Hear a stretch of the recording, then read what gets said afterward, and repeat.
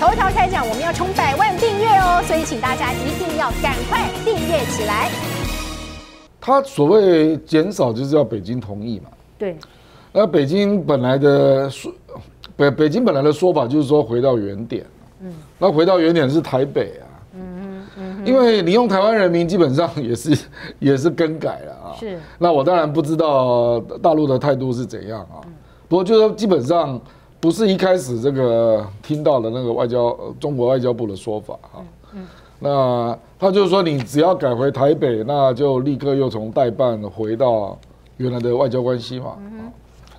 那这一招，这一招我我我觉得就是美国跟立陶宛商量出来的啦。哦。可是这个不是台湾啦，当然不是台湾建议的啦。台湾现在第一时间可能必须要扮黑脸吧？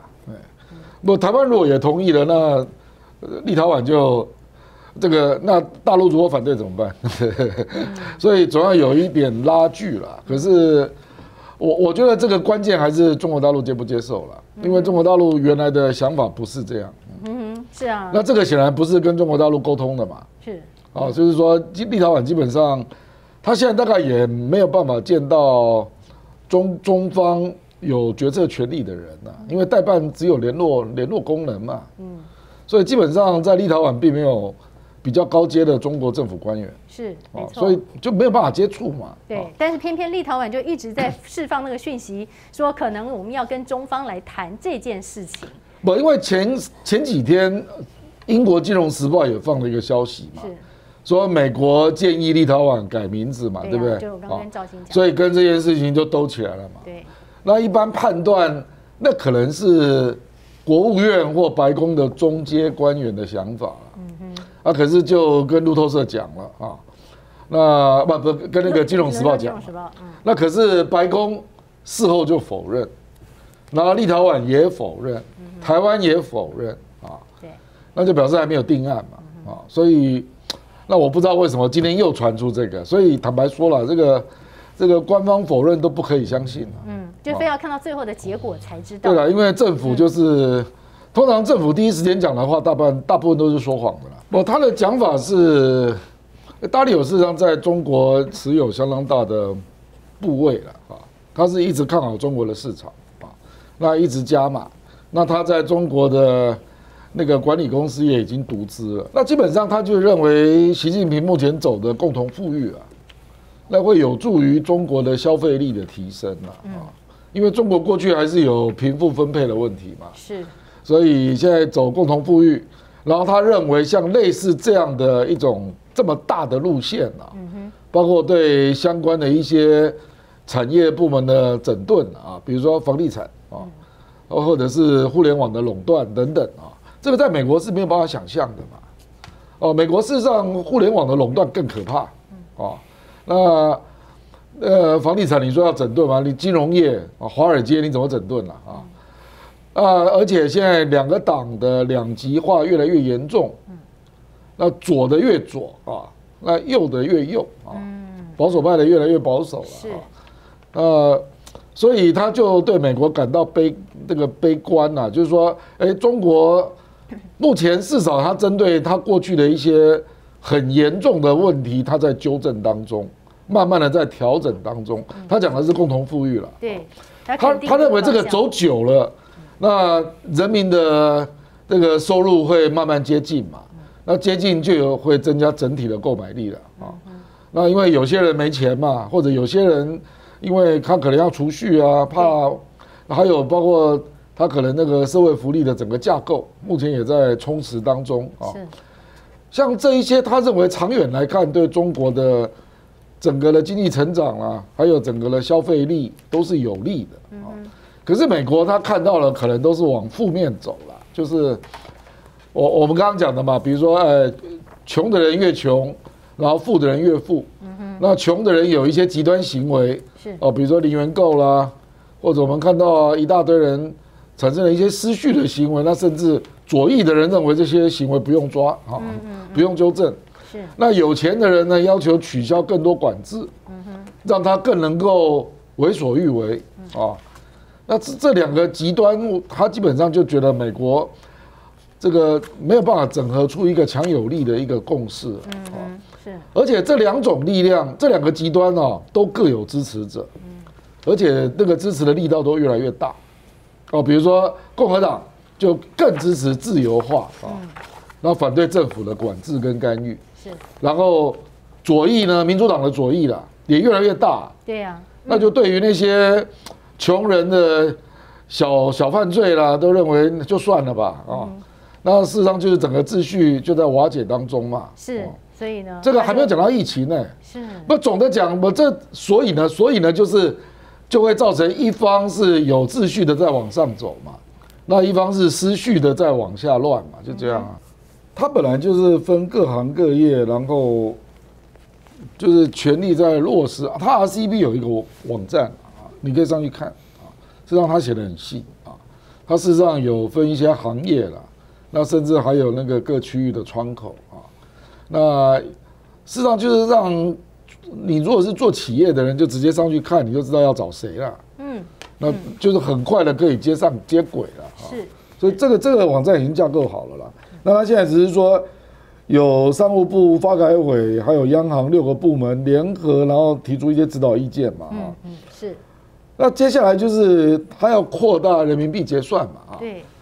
那中国本来在 RCEP 的周边国家，它很多本来就是第一大贸易伙伴嘛，啊，那这个如果牵涉到他要买的部分啊，那那个我觉得他当然就可以跟对方谈呐，就是有一些东西可以用人民币来算了，这个当然是有可能的啦，因为它的交易额都是最大的，嗯啊，RCEP 的国家它几乎都是第一大贸易伙伴了，嗯。本来菲律宾不是了，日本应该也不是。哦，那菲律宾现在应该也是了。日本第一大贸易伙伴可能还是美国了。嗯那接下来就是中国大陆啊。那我我觉得这个大概是它全球布局的一环呐。嗯。因为人民币要这个全球化，实际上也包括数位人民币了。是。这个应该就是它未来的一个长期的计划了。那只是说，RCEP 因为是它第一个比较这个算是这个总量最大的。第一个多边的贸易贸自由贸易区嘛，哈，对对，所以它就直接就把那个金融的部分，这个货币的部分把它给接上，嗯嗯，是，所以这个大概大概是第一个啦，就是说试图把人民币把它把它结合到它的贸易区了，啊，以前倒没有这样做了，现在的国际使用量也在上升了，现在大概已经二点多嘛，哈，在整个市国际那个汇市的，可是贸易的话。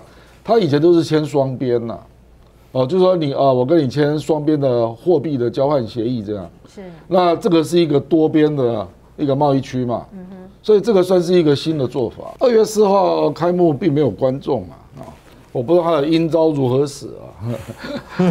不过在华的外交官坦白说，他如果出来要在北京生活，你也必须符合防疫规定啊，不然你场所根本进不去嘛。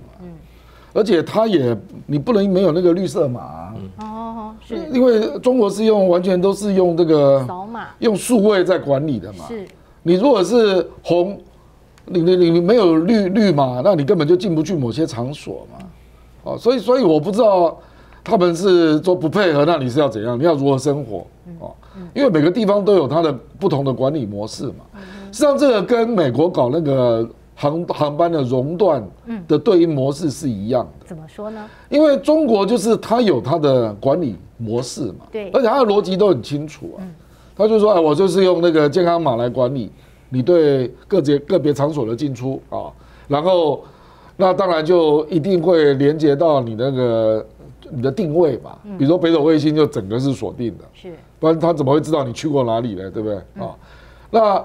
航班熔断也是一样嘛，就是你美国来的航班，如果有多少人确诊，那如果是我记得好像是十个吧，那就断掉暂停几天这样啊。他那个不是只有针对美国哎，他是针对全世界的航班哎，他实际上就是科以责任嘛，要求你这个航空公司，你在出境的时候对你的旅客要做一定的管理嘛，这个就是一个制度嘛。那结果你美国现在变成是恼羞成怒了，你知道？因为你被人家验出来，结果你有几个航班被人家暂停嘛，那你就说，哎，你在搞我啊，那我也要搞你，所以我我也不准你的航班飞我美国。可是美国并没有制度啊，比如说你不准中国的航班飞美国，对。那请问中国是带来多少确诊啊？嗯，恐怕很少吧。对，中国去美国的确诊数应该很少了啊，就好像那个最近从中国大陆回来台湾台商很多啊，那事实上确诊的不多啊，嗯，对，确诊大部分都是从美国来的啊。国，回来的这个大家都知道嘛。对。所以你美国现在等于是把病毒输往全世界，嗯，然后人家只是说，哎，我要用我的方式来管理你，对，哎。而且他是一视同仁啊，他我们我们台湾现在也不得不对美国这样了。现在我们入境旅客不是你只要确诊就一律送到健谈那个集中检疫所对，不对？对？我们以前也没这样干呐，对不对？因为实在是太多了，你美国带带进来的病毒实在是太多了啊，所以中国只是在讲它的防疫的模式，告诉你说我都是这样做的。那你如果航班超过多少人，那对不起，你要停飞，要隔多少天？是。那作为惩罚，那你才会去改善你自己的防疫措施嘛，不然你对你的旅客都不负责。哦，所以我我觉得美国现在就是因为他自己防疫问题很多啦，是啦，那他又拿不出一个可以跟中国竞争的防疫模式，所以就变成用这种方式在回应了，都把它政治化了。那个也不是外交部或总统府自己讲的啦，嗯，说什么我们会见到贺锦丽，不都哦是先这样子吗？透过媒体先放那个就是绿媒那边高度期待了啊。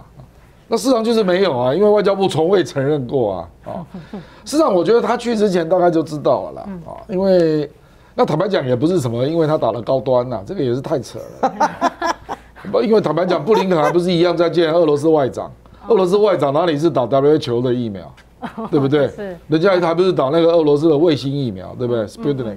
嗯。那那个美国也不承认啊。对，那他不照样在见面？所以那个绝对不是真正的原因呐、真正的原因是，就是他认不认为跟你见面重要嘛？不，事实上你看他那个呃去的行程的安排，你就知道了嘛。只有在加州，而且只有两个点，对不对啊？那也没有比较正式的官事访问，都没有啊。哦，所以而且基本上只去加州，你就知道它的政治性很低了。嗯，哦，嗯所以所以我觉得一开始大家就看到那个行程安排，就知道你没有去纽约，也没有去华盛顿啊。嗯，你政治性能高到哪里去？哦，对不对？那行程一直就没有看到嘛，嗯那后来才知道就是就是没有见面嘛，嗯哦，那那当然还有比如说，哎，白宫会不会有特别有人，或者是国务院特别有人飞到加州跟你见面了、好或者是加州当地是不是有重要的参议员跟你见面？哦，这个要再观察，目前看起来是没有。秦教官下召集令，支持中天的好朋友们，玉琴呼吁大家加入订阅冲刺的行列。距离百万订阅呢，只剩下不到十万的差距了。所以朋友们，让我们一起按赞、分享、订阅，让全球的华人都看得到。